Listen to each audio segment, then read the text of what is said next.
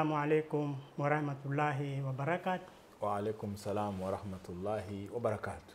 Na wale mandugu zetu ambao kwamba si Waislamu, amani ya Mwenyezi Mungu iwe pamoja nanyi.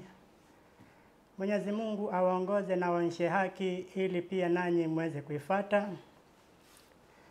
Tunamshukuru Mwenyezi Mungu kwa kutujalia tena hai uzima na afya mpaka tukawa ni wenye kufika katika sehemu hii ili kuweza kukumbushana mawili matatu katika kile kipindi cha uliza ujibiwe baina ya Qur'ani na Biblia.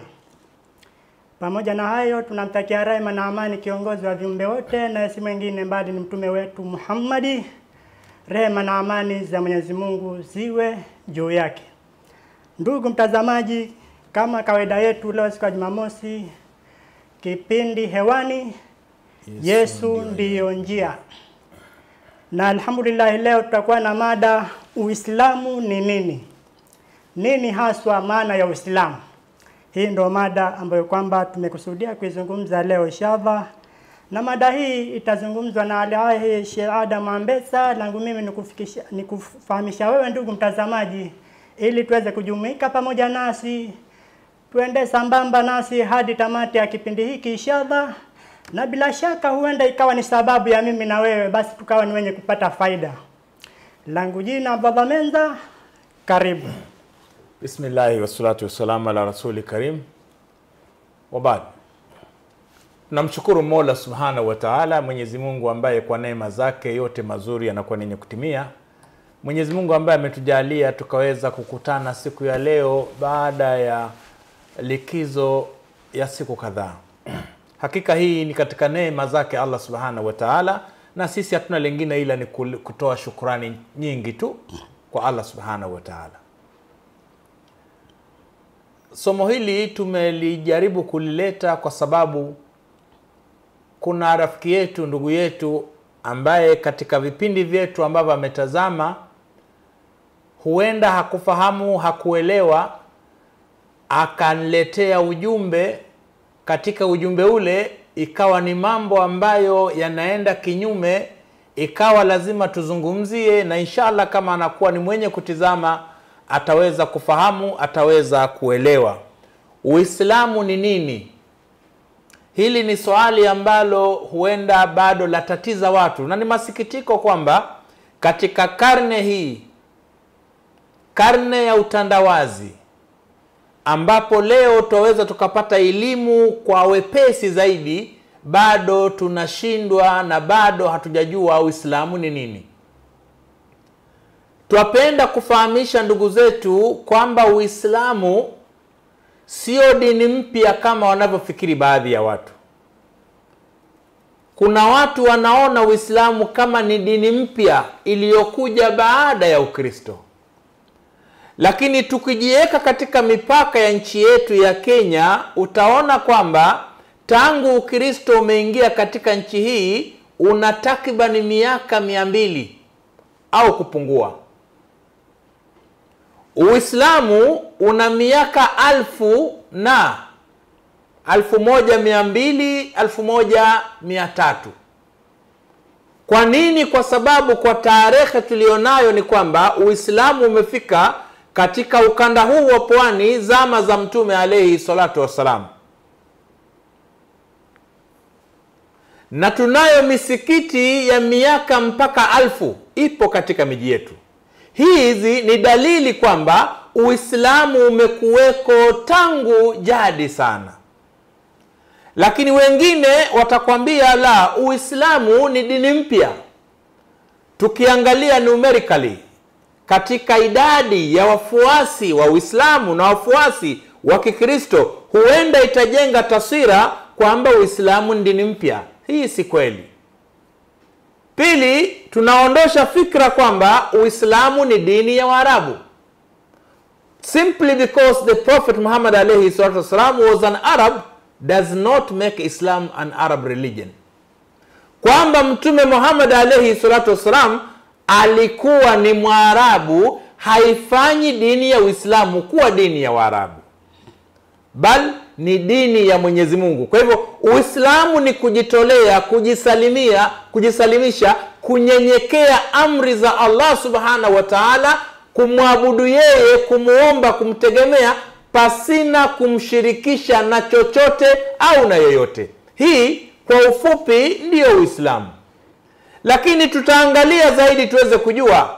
Maana watu wanapenda kujua uislamu asili yake uislamu umeanza lini.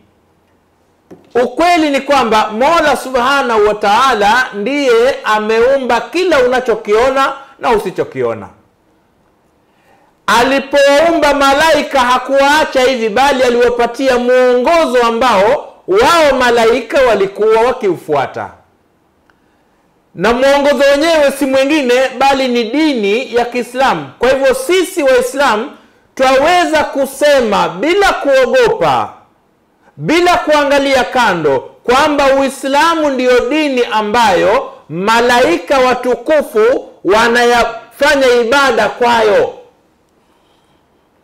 Kwa nini?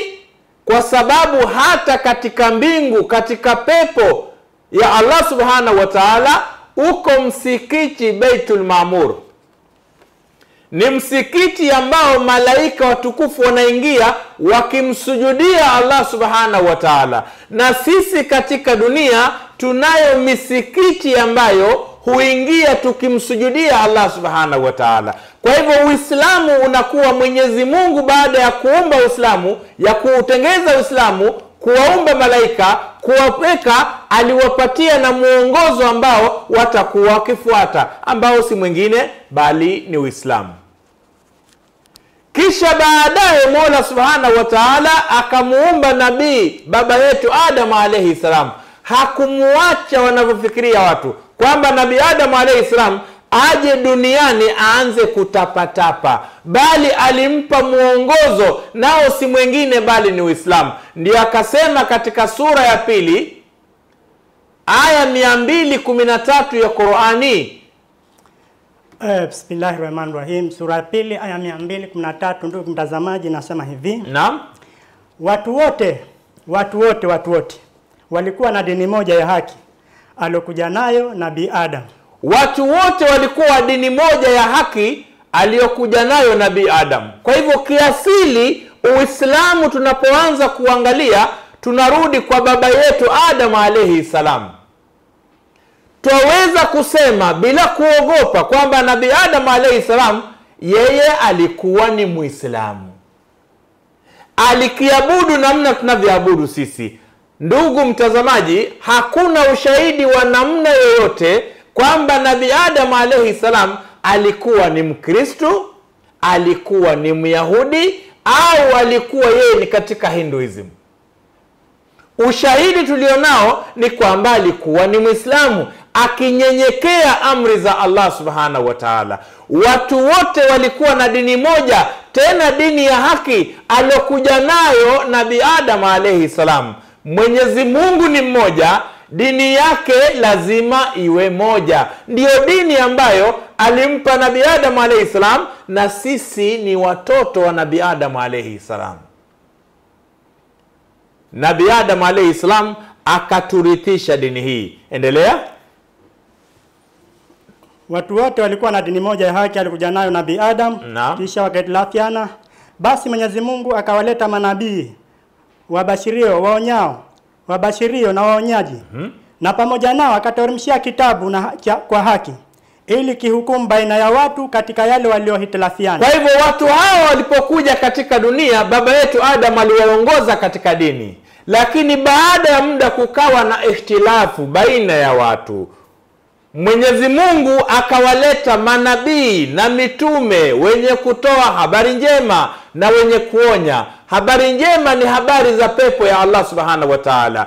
Kuonya ni kuhusu moto mkali wa jahannam. Na pamoja na hawa manabii mwenyezi mungu akawateremshia vitabu vilivyoshikamana na haki. Taurati kwa nabii musa alaihi salam. Zaburi kwa nabii daudi alaihi salam injili kwa nabii isa yesu mwana wa maryam na qurani kwa mtume muhammadi alaihi salatu wassalam. Hivi ndivyo vitabu vinne ambavyo vinatambuliwa kutoka kwa allah subhanahu wataala japo wanadamu wamebuni vitabu vingine twaweza kusema bila kuogopa bila kuangalia kando na kando kwamba hivi ndivyo vitabu vinavyotambuliwa. Lakini unapoleta vitabu vyengine mathalan gita. Upanishad. Bibilia talmud. Hivi ni vitabu ambavyo vimeandikwa na watu. Havina uvuvio wa roho. Havina uteremsho kutoka kwa allah subhanahu wa taala. Kwa hivyo vitabu hivi vilivyoshikamana na haki vinaongoza watu katika yale waliokuwa wakihitilafiana. Kwa hivyo tunapata ushahidi kwamba kando na kwamba mwenyezi mungu alimleta nabii adamu alaihi salam hakumwacha alimpatia mwongozo na kwamba kuna watu wanakufa wengine wanaokuja inakuwa kwamba lazima kupatikaniwe kitabu ambacho kitakuwa ni reminder kitakuwa ni ukumbusho kitakuwa kinatuonyesha kwamba hivi ndivyo ilivyokuwa ndiyo sababu leo tunayo qurani wengine wanasema tunayo na bibilia naam bibilia ipo. Lakini hatujaona sehemu kwamba mwenyezi mungu ameiteremsha bibilia kama kitabu ambacho twaweza tukakifuata twaweza tukakiamini na tukapata salama. Lakini qurani ushahidi upo kwamba ndicho kitabu ambacho amekiteremsha mola subhanahu wa taala. Twaweza tukakiamini twaweza tukakifuata na ndani yake mna salama. Ndani yake kuna maongozi ya kisawasawa. Hawa manabii wamefananishwa na watoto wa mtu mmoja japo mtu yule aweza kuwa alikuwa na mama au ameoa wake tofauti manabii alaihi salam wana asili moja kutoka kwa allah subhanahu wa taala japo wamekuja kwa nchi mbalimbali kwa nyakati mbalimbali.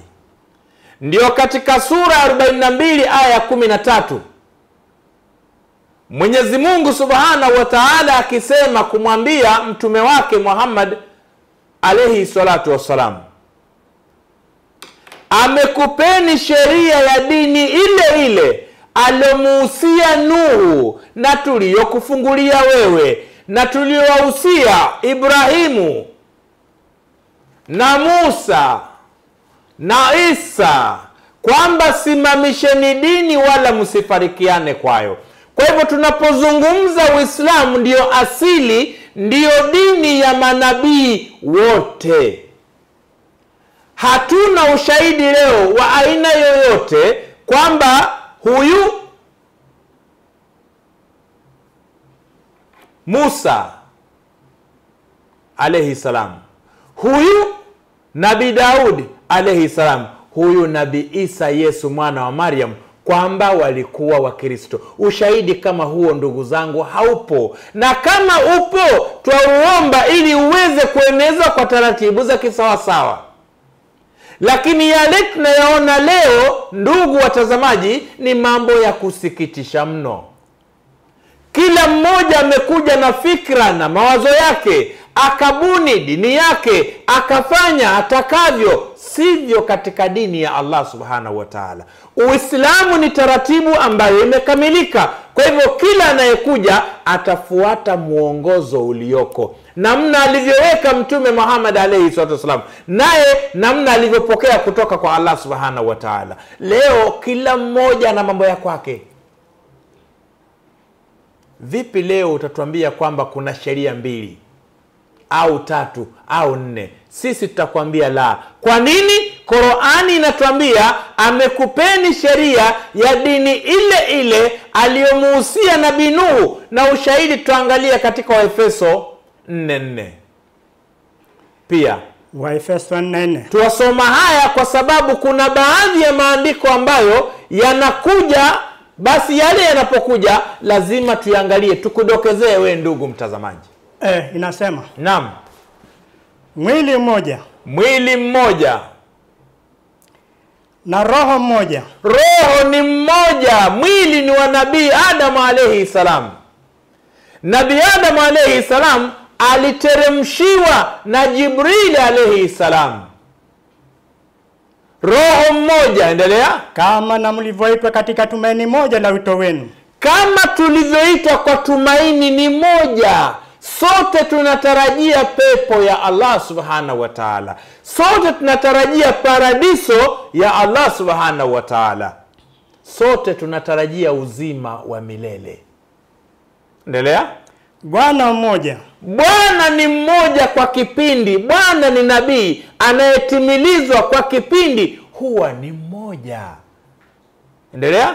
Imani moja. Imani inakuwa ni moja ndugu mtazamaji. Vipi leo kuna imani chungu nzima? Vipi leo kuna imani chungu nzima? Sisi waislamu imani yetu itikadi yetu akida yetu ni moja la ilaha illa llah huu ndio msingi wetu sisi waislamu islam is a monotheistic religion. Ni dini ya mwenyezi mungu mmoja.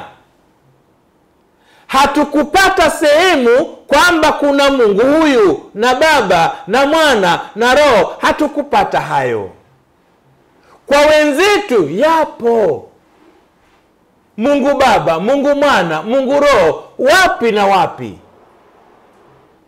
Imani moja tumaini ni moja. Leo yako mengi. Wengine husema kana yesu ni mungu wengine ni mwana wa mungu wengine husema sijui.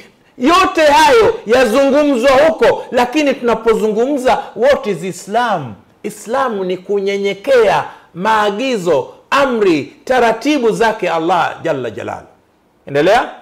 Ubatizo mmoja. Aha. ubatizo moja mungu mmoja. Sana. Naye ni baba wa wote mm -hmm. aliye juu ya yote. Mm -hmm. na katika yote mm. na ndani ya yote. Mungu ni mmoja ambaye yuko juu ya yote katika yote na ndani ya yote. Mungu ni mmoja. Haya ndiyo mafundisho ambayo sisi tumeyapata na ndiyo ambayo tunayazungumzia tunaposema uislamu nini tufahamikiane ndugu mtazamaji kwamba uislamu ni kujitolea kujisalimisha mbele zake allah jalla jalalu.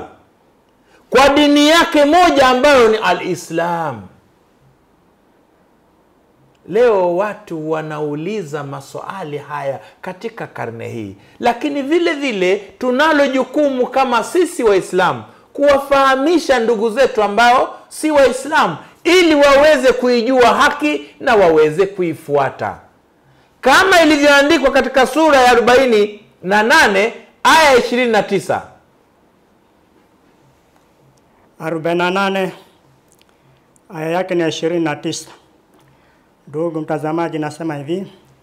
Bismillahi rahmani rahim muhammadi ni mtume wa mwenyezi mungu na walio pamoja naye wana nguvu mbele ya makafiri. Muhammad alayhi salatu wassalamu rasulullah. Ni mtume wa mwenyezi mungu. Wako watu ambao mpaka leo wao wanapenda kufanya kejeli kudharau mtume alayhi salatu wassalam fahamu ndugu mtazamaji kwamba huwezi kumdhalilisha allah subhanahu wa taala. Huwezi kumdhalilisha mtume wake. Huwezi kudhalilisha dini yake. Huwezi kudhalilisha waislamu. Mwisho wa kuisha wewe mwenyewe ndiwe utakayedhalilika. Kwa nini? Uko katika vita na allah. Uko katika vita na taratibu ya allah subhanahu wa taala. Ni mtume wa mwenyezi mungu na walio pamoja naye ni wenye nyoyo thabiti mbele ya ambao si waislamu. Endelea? Na wenye kuhurumiana wao kwa wao. Hii ndiyo sifa ya waislamu. Wana huruma baina yao baina ya mwislamu na mwislamu japo leo watu watahoji kusema lakini mbona kunafanyika hivi na haya kunafika kule? Lakini taratibu yetu ambayo imeandikwa ni kwamba mwislamu ana huruma na mwislamu mwenzake. Endelea utawaona wakiinama kwa kusujudu wakitafuta fadhila za fadhila za Mwenyezi Mungu. Na hii ndio taratibu yetu ndugu watazamaji. Kwa hivyo waislamu tunapoingia katika misikiti husimama safu moja. Imamu akasema allahu akbar. Na sote tukafunga sala. Kisha tukawa ni wenye kurukuu kisha tukaenda kusujudu kwa pamoja. Hatujaachana. Tuko pamoja. Na imamu husema bega kwa bega kisigino kwa kisigino watu wasimame pamoja. Kwa nini? Hii inaleta undugu wa kiislamu. Inaleta muunganisho katika uislamu. Si kama kwa wenzetu. Utaona wenzetu hawana taratibu za kisawasawa. Endelea alama zao ah. zikatika nyuso zao Aha. kwa taathira athari ya kusujudu. kila anayefanya ibada kwa mola subhanahu wa taala kuna athari yake atajulikana kwamba huyu ni mwislamu na imeandikwa hata katika vitabu vya ndugu zetu kwamba siku hiyo watatumwa nzige wale nzige watakuwa ni wakali sana kuuma kwao kutakuwa kama kwa nge tena wale nge wa jangwani watatafuta wale ambao hawana alama katika nyuso zao alama za kusujudu. Hawa wataadhibiwa kwa amri yake allah subhanahu wataala kwa hivyo alama za waislamu zikatika nyuso zao kwa athari za kusujudu. Ndio tukasema kwamba kusujudu kumeanza na malaika katika msikiti ulioko mbinguni kisha na sisi tunamsujudia allah subhanahu wa taala. Utaona mambo tunayoyafanya sisi yamefanana kabisa na wanaofanya malaika watukufu. Kinyume wanavyofanya ndugu zetu. Hayapo. Hayapo katika vitabu. Hakuna sehemu ambapo utakuta watu wanaambiwa wamwabudu mwenyezi mungu katika utatu. Hakuna. Endelea Huu ndio mfano wao katika Taurati Aha. na mfano wao katika Injili. Huu ndio mfano wao katika taurati na huu ndio mfano wao katika injili. Hapa vinatajwa vitabu viwili taurati aliyopewa nabi musa alaihi salam na injili aliyopewa nabi isa alaihi salam vipi wewe utatuletea kitabu chengine utuingizie kwamba nacho pia kiwe cha kuaminiwa? Tutakuhoji tutakuuliza maswali. Na ikiwa unasikiza ndugu mtazamaji makinika katika kusikiza na kufuata. Kwa nini? Ndio sifa ya waislamu samei wa atwana kwamba tumesikia na tumetii. Sio wenzetu mayahudi ambao walikuwa akisikia kicha wakimwasi allah subhanahu wa taala. Sisi hatuna sifa hiyo. Lazima tusimame namna inavyotakiwa. Kwa hivyo mtu anapouliza uislamu nini ni unyenyekevu kujitolea kwa ajili ya allah subhanahu wa taala kumwabudu kumwomba kumtegemea bila kumshirikisha na chochote au na yoyote. Tunaposema haya tunamaanisha mwenyezi mungu yeye ni lam yalid walam yulad. Mwenyezi mungu ambaye hakuzaa wala hakuzaliwa walam yakun lahu kufuan ahad. Wala hana mfano wake. Huwezi mfananisha mwenyezi mungu na chochote. Asemaje mwenyezi mungu katika sura ya 30 aya 30 Eh, 30 30 nasema. Naam. Ndani ya kitabu ambacho kwamba hakina shaka ndani yake na ni uongozi pa wale wanaomcha Mungu. Bismillahirrahmanirrahim. Basi uelekeze uso wako katika dini iliyo sawasawa, elekeza mwenyezi mungu anasema. Elekeza uso wako katika dini ya kisawasawa ndugu mtazamaji. Mwenyezi mungu ajua yako madini ambayo si ya kisawasawa kwa wale ambao wanapitia katika mitandao mtaona yale ambayo yamefanyika katika miezi hii iliyopita wengine walikidai kusherekea mwaka mpya akazuka. Mmoja akijiita ni kasisi ambia na mimi nataka kuwaondoleni madhambi ya mwaka. Kwa hivyo nitawakuwa na waogesha wanawake. La ilaha illallah. Kwamba wamekuja kwake wanawake wakiwa uchi anawaogesha. La ilaha illallah. Hii pia wanasema ni dini vipi mwislamu aweza kuingia mali kama hapa?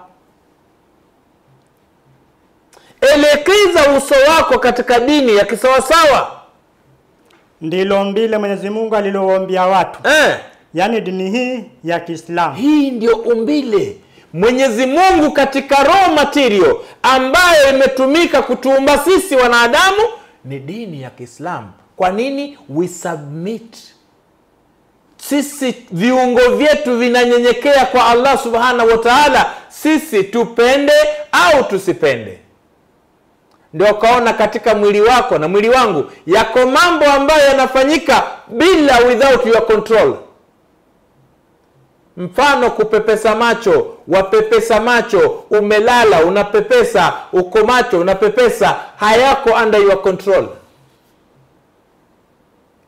mfano kupumua wapumua. Ukilala unapumua. Ukitembea unapumua. Ukikimbia unapumua.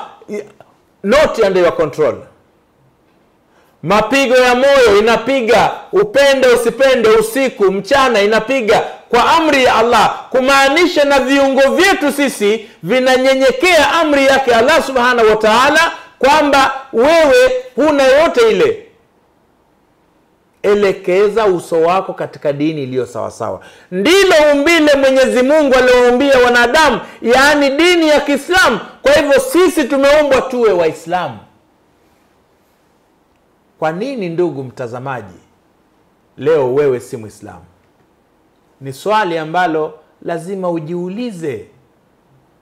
Ikiwa haya tunayosikia ndiyo uislamu na hii ni qurani ya allah subhanahu wa taala why is it that you are not a muslim?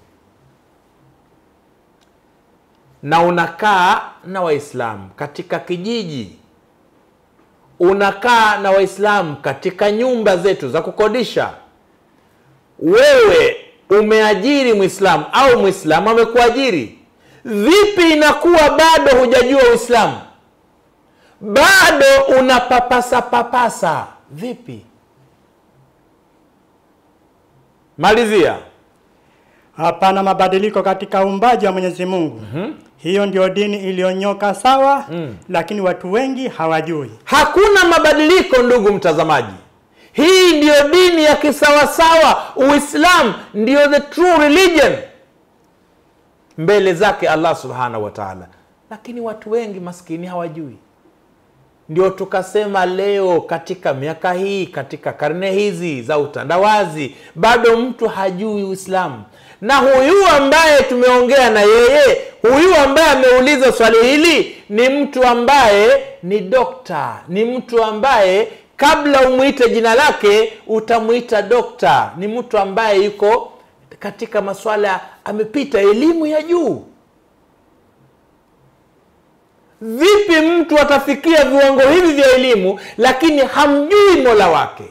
Hajui dini yake? Hajui kitabu chake? Hajui mtume wake? Ni katika hali gani hizi? Lazima tumakinike. Hii ndiyo dini ya haki lakini watu wengi hawajui. Kwa hivyo ni jukumu langu jukumu lako unaposikia ukweli uwe ni mwenye kuufuata. Kwamba nimesikia nimetii nimesikia nafuata ile haki. Kwa nini? Kwa sababu ndugu mtazamaji kila mmoja wetu atasimama mbele za allah peke yake.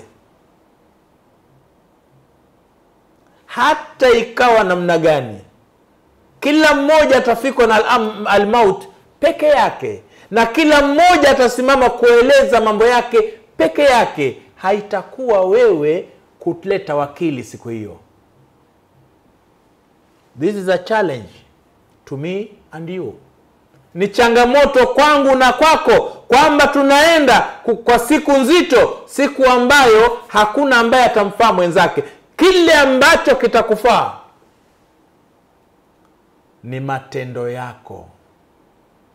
Amali yako ndiyo ambayo itakufaa hautafaliwa na mwana wala baba. Hizi ndio hali ambazo tunaenda. Lakini kwanza lazima mtu ajisalimishe katika uislamu. Katika sura ya tano aya ya tatu qurani E, inasema. aya hii ni aya ina uzito sana. Maana inaeleza mambo mengi mazuri. Leo leo nimekukamilishieni dini yenu. Leo nimekukamilishieni dini yenu. Na nimekutimizieni neema yangu. Allah subhanahu wa taala akatimiza neema yake juu yetu sisi. Na nimekupendeleni Uislamu. Eh. uwe dini yenu. mwenyezi mungu jalla jalalu anasema mimi nimekupendeleeni uislamu uwe ni dini yenu kwa nini? Kwa sababu islam is a complete way of life. Ni mfumo kamili wa maisha. Allah aliyokuumba wewe na mimi ametupendelea ndugu mtazamaji tuwe waislamu. Wewe waonaje kama ungependelewa ungetangazwa ungetajwa sehemu na bwana mmoja mkubwa kwamba mimi napendelea tenda kazi yake huyu. Inakuwaje? Katika mahali watu wanafanya kazi kisha ikatokea kwamba you are the employee of the week. Wewe ndiwe mfanyikazi bora wa wiki ile. Wewe ndiwe mfanyikazi bora wa mwezi ule. Wewe ndiwe mfanyikazi bora wa mwaka ule. Unahisi vipi? Unajihisi namna gani inakuwaje anaposema allah kwamba mimi mola wenu nilokuumbeni na kupendeleeni uislamu uwe dini yenu? How should we be feeling? Ni zaidi ya mfanyikazi wa wiki ni zaidi mfanyikazi bora wa mwezi ni zaidi mfanyikazi bora wa mwaka. Zaidi zaidi. Lakini leo watu bado wamekwama katika hali ambazo zinawapoteza katika njia ya kisawasawa. Lazima kama waislamu tuwaambie tuwakumbushe tuwalete katika njia ya kisawasawa. Katika sura ya 33 aya 40 ndani ya qurani anasemaje mwenyezi mungu subhanahu wataala E, 33 aya yake ni ya 40. naam Bismillahir Rahmanir Rahim. Eh, Muhammadi si baba wa yeyote katika wanaume wenu mm-hmm. bali ni mtume wa Mwenyezi Mungu mm. na ni mwisho wa, wa mitume mm-hmm. na Mwenyezi Mungu ni mjuzi wa kila kitu. muhammad alayhi salatu wassalam si baba yote katika wanaume wenu bali ni mtume wa mwenyezi mungu na mwisho wa mitume andiko hili twalileta kwa sababu leo kuna watu wanajiita manabii. Leo kuna watu wanajiita mitume. Leo kuna watu ambao wamejitangaza kwamba wao ni bora. Wao wanafanya miujizati ya kila namna. Qurani inasema muhammadi yeye ndio hatamu nabiin yeye ndio mwisho wa mitume baada yake hakuna. Ni wangapi ndugu mtazamaji katika miji tunayokaa katika vitongoji vyetu watu wanaojiita manabii ni wangapi? Hata huyu aliokuwa akiuliza swali hili la haula wala quwata illa billahi laliyu ladhim yeye pia ajiita ni nabii. Yeye ajiita ni nabii lakini hajui anamwabudu nani. Yasikitisha ndugu mtazamaji kwamba yeye ni nabii kisha ananiandikia anasema yesu ndiye mungu. La haula wala quwata illa billahi vipi wewe utakuwa nabii usiyejua mola wako?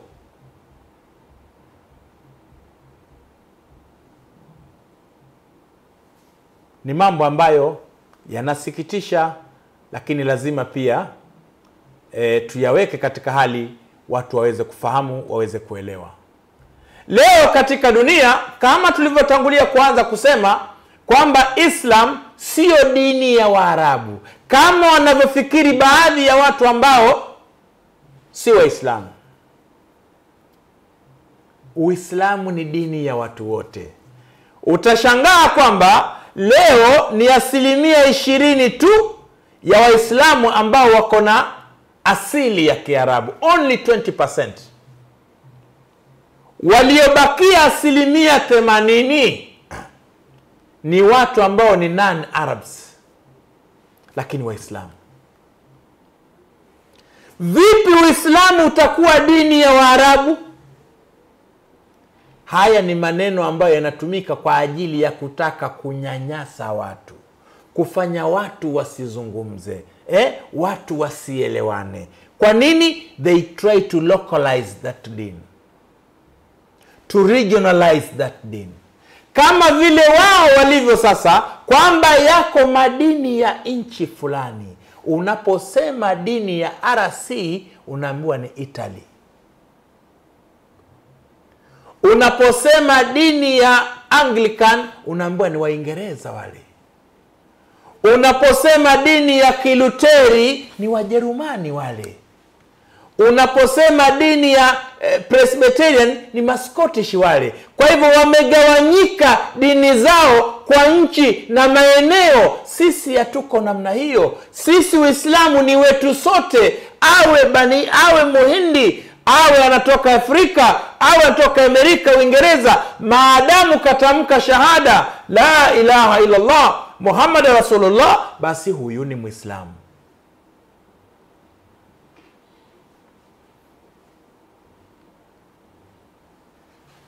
hii ndiyo haki.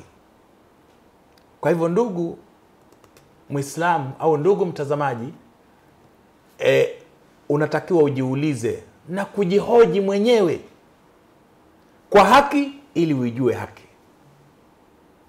Ujiulize ujihoji mwenyewe kwa haki ili uweze kuijua haki leo nchi ya indonesia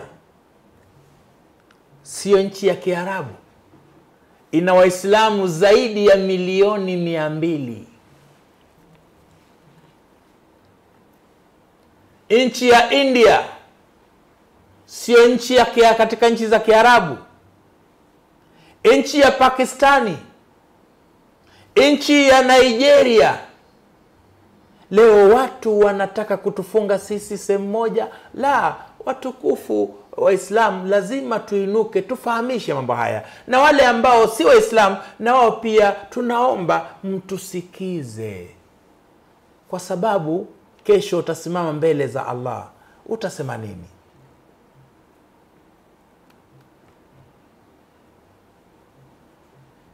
Kama tulivyoeleza ni kwamba ukristo ni makundi mbalimbali yaliyoanzishwa na watu kutoka nchi mbalimbali na kila mmoja atakuwa na mvuto. Mfano ukiangalia nchi ya kenya ilitawaliwa na mwingereza katika ukoloni. Kwa hivyo utaona kanisa la anglikana limejitokeza zaidi katika nchi ya kenya. Ukienda nchi ya tanzania ilitawaliwa na mjerumani. Kwa hivyo utaona kwamba e, kanisa la kiluteri limejitokeza zaidi. Almuradi kila sehemu na mwanzilishi wake itakuwa na wafuasi wengi. Sisi hatuko namna hiyo. Sisi ni waislamu na tunaomba tubakie kuwa sisi ni waislamu. Kama alivyosema mwenyezi mungu subhanahu wa taala kwamba kuwa na elimu ni jambo muhimu sana. Ilmu na ilmu ni jambo la lazima kwa mwislamu mwanamume na mwislamu mwanamke. Kwa hivyo kutafuta elimu ni jambo la faradhi ni jambo la lazima. Wenzetu wanaona kwamba elimu haina maana. Ndio sababu wanakwambia kwamba utafunguliwa tu roho mtakatifu. Kuna rafiki yangu mmoja siku zote uniambia yeye ni yeye ni nabii yeye ni mtumishi. Lakini katika kujieleza huwa anatuambia mimi nilifika darasa sijui la tano sijui la sita. Lakini mimi ni mtumishi. Hatujakataa. Lakini huwezi kuwa mtumishi. Huwezi kusomesha jambo ambalo hulijui. Huwezi. Huwezi kuanza kutusomesha sisi hesabu na hujui hesabu vipi unasomesha watu wamjue mwenyezi mungu? Hali ya kuwa wewe mwenyewe humjui mwenyezi mungu. Vipi itawezekana? Hawa watu kweli wanaweza wakaongozeka ni swali ambalo tunauliza. Sasa watu hawa ambao hawana elimu ya kumjua mola wao kisha wakawa wao ndio walimu ndio bwana yesu akasema katika mathayo 22 27 inasemaje E, Mathayo 22 27 nimeiona. naam Mwisho wa wote yule mwanamke akafa naye. Basi katika kiama atakuwa mke wa yupi? mathayo 22 22 27 nam. Marco. Mm. Ah, twaib.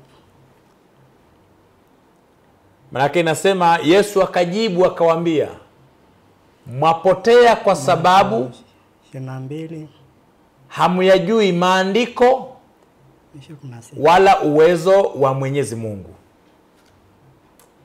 mwapotea kwa sababu hamyajui maandiko ya mwenyezi mungu wala uwezo wa mwenyezi mungu. Na mtu asipojua maandiko ya mwenyezi mungu hawezi kumjua mwenyezi mungu hawezi kujua mtume wake hawezi kujua dini yake. Huyu vipi atakuongoza? Ndio bwana yesu akasema katika sehemu nyingine kipofu akimwongoza kipofu mwenzake wote wawili watatumbukia katika shimo. Na sisi hatuwezi kubali kwamba tuongozwe na watu ambao hawana elimu ya kumjua mola subhanahu wa taala. Elimu ina vigewanyo vitatu muhimu sana ndugu mtazamaji. Kwanza ni elimu ya kumjua allah. Ujue halali ujue haramu. Kwanza umjue mwenyezi mungu ni nani. Vipi ndugu mtazamaji utakuwa wewe wataka kufundisha mwenyezi mungu na humjui mwenyezi mungu. Hujui uwezo wake hujui kitabu chake hujui halali ni nini hujui haramu ni nini. Utafundisha nini?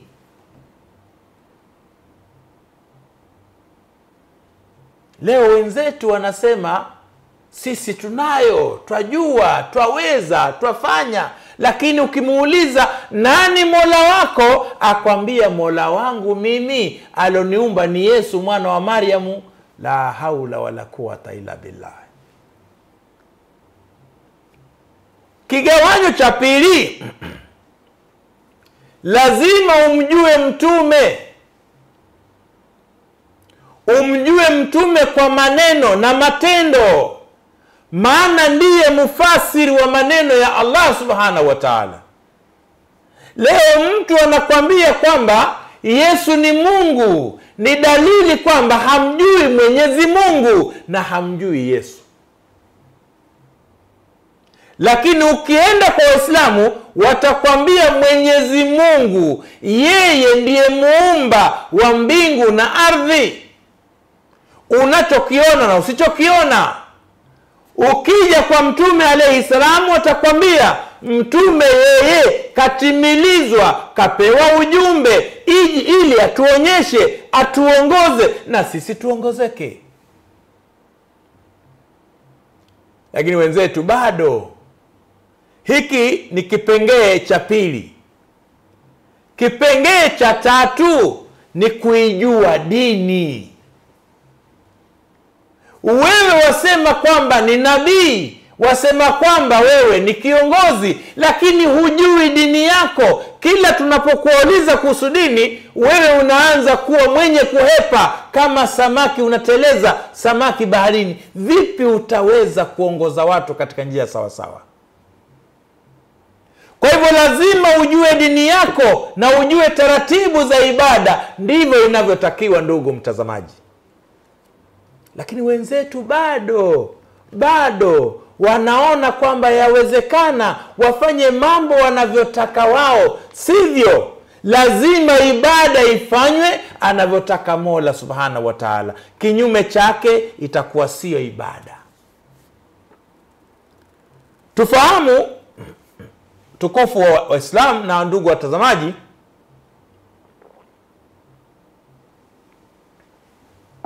Uislamu umeweka ibada kwa sehemu mbili muhimu sana.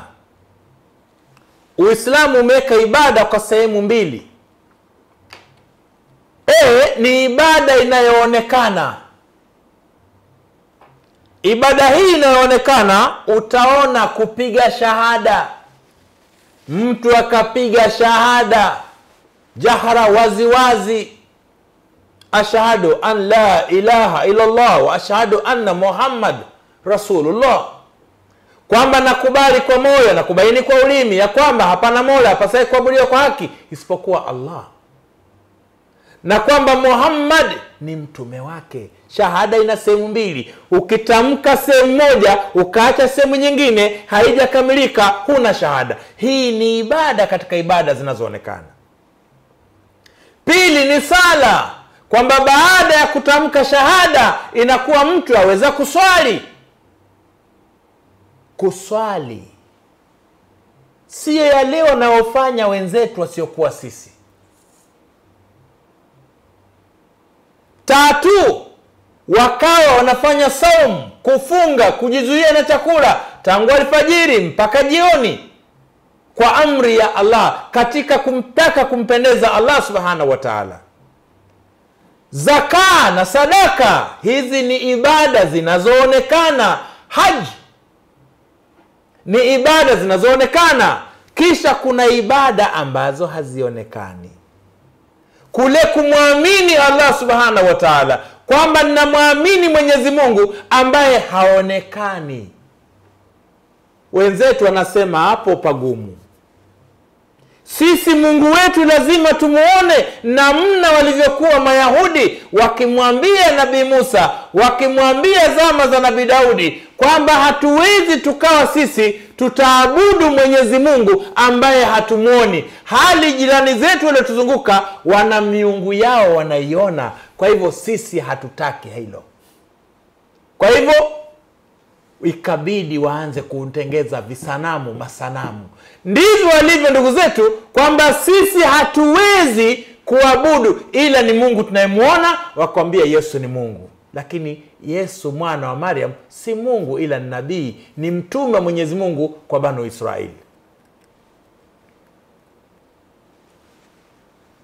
Kisha kuna waamini malaika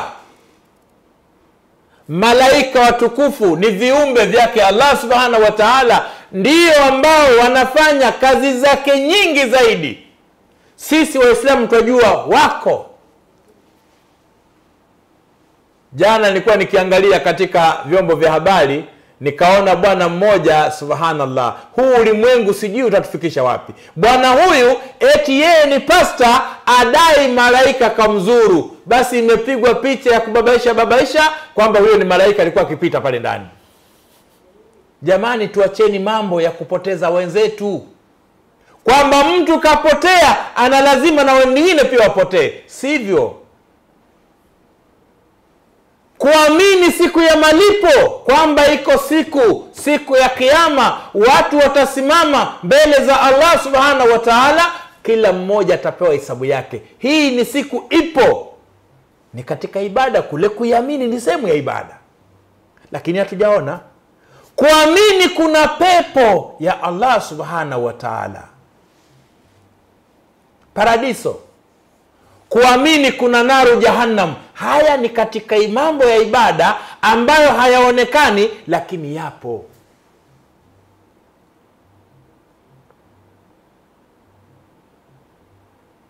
Tutakuja kwa kipengele hichi Waislamu huamini nini?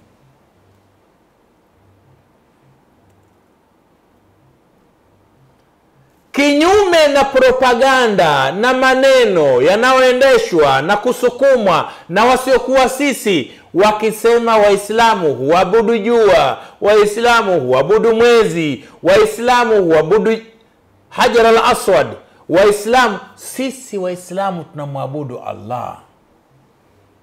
Katika sura ya pili aya ishirini na moja anasema nini Mola subhanahu wa taala kuhusu masala ya ibada? Uh, Bismillahi rahmani rahim. Suratul Bakara aya yake ni ishirini na moja. Ndugu mtazamaji, nasema hivi: Naam, enyi watu, enyi watu. Mwabuduni mola wenu. Sana. Mlezi aliyekuumbeni nyinyi eh. na wale wa kabila yenu ili mpate kuokoka. Enyi watu mwabuduni mola wenu ambaye amekuumbeni ninyi na wale wa kabla yenu ili mpate kuokoka, mpate kufaulu. Kwa hivyo sisi Waislamu tunamwabudu Allah subhanahu wa taala kwa sababu yeye ndiye muumba wetu. Ndugu mtazamaji, ukimwabudu Yesu unamwabudu kwa nini? Kila kitu kina sababu. Waislamu tunamwabudu Allah jala jalalu kwa sababu ndiye muumba. Wewe unasema Yesu ni Mungu, Yesu kakufanyia nini? Kakuumba wewe? Ni swali ambalo lazima umakinike nalo. Katika sura 41 aya 37 arobaini na moja aya yake ni ya thelathini na saba. Naam, Kwa jina la Mwenyezi Mungu mwenye kuneemesha neema kubwa kubwa na mwenye kuneemesha neema ndogo ndogo. Ujuzi wa, wa kuijua saa ya kiyama sura 41 ndio hiyo 40 aya 37 37 sorry. Nasoma 47.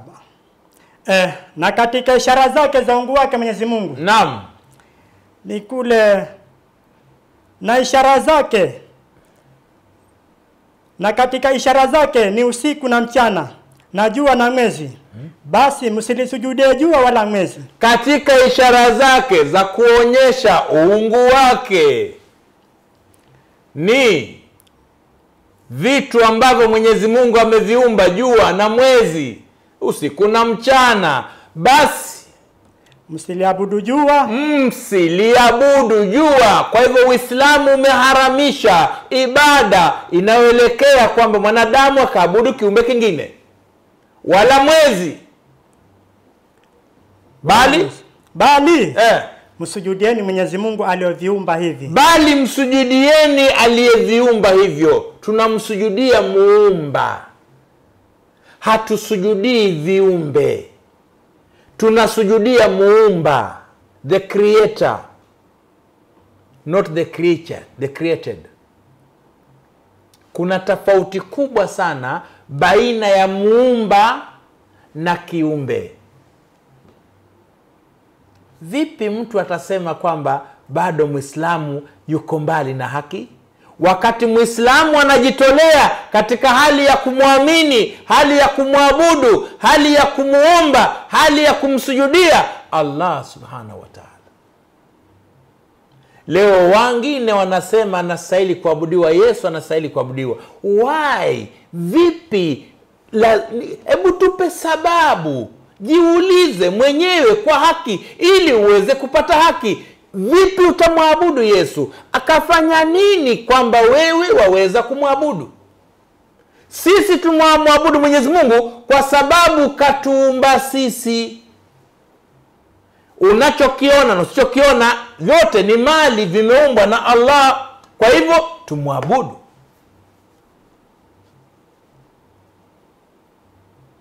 Tufahamu haya ndugu watazamaji, kwamba Waislamu tunamwamini Mwenyezi Mungu. Na vitabu vyake, Taurati ya Nabii Musa, Zaburi ya Nabii Daudi, Injili ya Nabii Isa alaihi salam, na sisi hatuna shaka na vitabu hivi. Lakini pia tujue kwamba kando na hivi vile vinavyotuletewa inakuwa kwetu hatuvikubali. Bwana huyu anasema jina la Allah ni lipi? Kwa nini? Kwa sababu yeye kaona kuna watu waliitwa Abdallah kabla. Naam, wako ni kwa sababu kiasili watu wanajua uongofu. Hebu soma katika sura ya 17 sura ya 17 aya mia moja na kumi. Aya mia moja na kumi Naam, Eh, Bismillahi rahmani rahim. Nimeiona. Sema, mwombeni Mwenyezi Mungu, mwombeni Allah Mwenyezi Mungu. Sema, mwombeni Allah Mwenyezi Mungu au mwombeni Rahman mwingi wa kurehemu kwa jina lolote mnalomwita, kwani yeye ana majina mazuri mazuri. Wala usitangaze sala yako kwa sauti kubwa, wala usifiche kwa sauti, usifiche kwa sauti ndogo, naam bali shika njia ya kati na kati. mwenyezi mungu anasema muombeni mwenyezi mungu kwa jina la allah au jina la arrahmani haya ndiyo majina yake allah jalla jalalu. Na ana majina 99 majina mazuri mazuri mazuri. Lakini leo watu hawataki kusikia wataka kuweka ya kwao. Na siku zote utakapoweka ya kwako utakuwa unaharibu utakuwa hujengi. Kwa hivyo mtu aweza kusilimu kwa yule mwenye kutaka. Ndugu mtazamaji waweza kusilimu kwa kutamka kwa we, kutamka kwa moyo na kubaini kwa ulimi ya kwamba hapana mola apasaye kuabudiwa ila allah. Na ukatamka maneno haya bila unafiki ukamtegemea allah kwa hali zote. Kwamba mimi natamka shahada na namtegemea allah jalla jalalu. Wako ambao wanapenda kusilimu lakini wanahofu wanaogopa. Wako ambao wanaona kwamba watakosa kile walichonacho kidogo tufahamu kwamba utajiri wote uko kwa allah subhanahu wa taala. Humpa mtakaye. Kwa hivyo si kazi yako kazi yako ni kuamini na kufuata. Kuzisimamisha nguzo tano za uislamu kama tulivyozitaja shahada sala saumu zaka na kwenda haji haji hizi ni nguzo ambazo lazima usimamishe kama kweli umekuwa mwislamu kwa mwenye uwezo atatoa zaka. Kwa mwenye uwezo atafanya haji. Kwa mwenye uwezo. Kwa hivyo utaona uislamu ni dini nyepesi. Kusimamisha sala kama inavyotakiwa. Kinyume na wale ambao wanasema sisi hatutaenda katika uislamu. Sasa wao kwa upande mmoja rc wako na sala ya maria. Salamu maria umejaa neema na kweli na yesu mzao wa tumbo lako mbarikiwa. E maria mama wa mungu tuombee sisi kufa kwetu. La haula wala quwata illa billah. Kwamba mwanadamu aomba mama mariamu anayeitwa kwamba yeye ni mama yake mungu aweze. Si kweli si kweli kabisa. Kwa hivyo ndugu mtazamaji lazima tujue kwamba uislamu ni dini ambayo imekamilika kwa hali zote na kwa vyovyote vile. Na haiwezekani kwamba mtu awe atakuwa ni mwenye kupotea katika njia ya sawasawa. Lazima ndugu mtazamaji tuweze kujinusuru katika jela ambayo sisi wenyewe tunajiweka ndani. Na tunaambiwa kwamba ile jela ngumu zaidi kwa mwanadamu kutoka siyo nyingine bali ni jela ya akili yako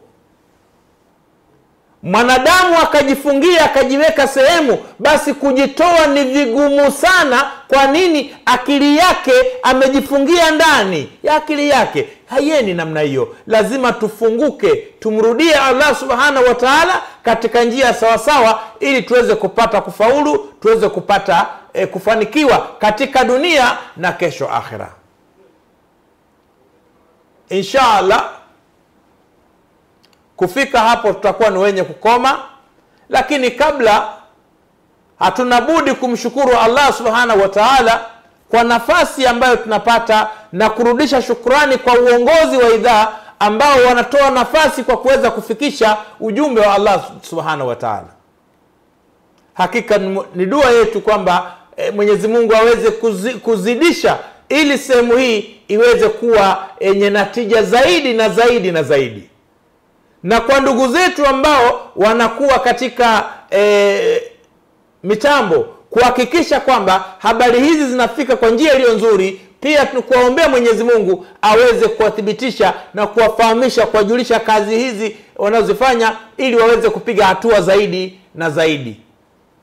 Na kwa wale ambao wako kule wanatazama na wangependa kusilimu pia nafasi ipo waweza ukasilimu waweza ukatuletea maswali yoyote yale katika eh, sms zetu waweze ukatuma swali insha allah tukiyaona maswali bila shaka tutakuwa ni yenye kujibu namna atakavyotuwezesha mola subhanahu wataala kufika hapa tutakuwa ni wenye kukoma. Subhanaka allahumma bihamdik. Washhadu an la ilaha illa anta wastaghfiruka wanatubu ilaik wassalamu alaikum warahmatullahi wabarakatuh Wa alaikum salam warahmatullahi wabarakatuh.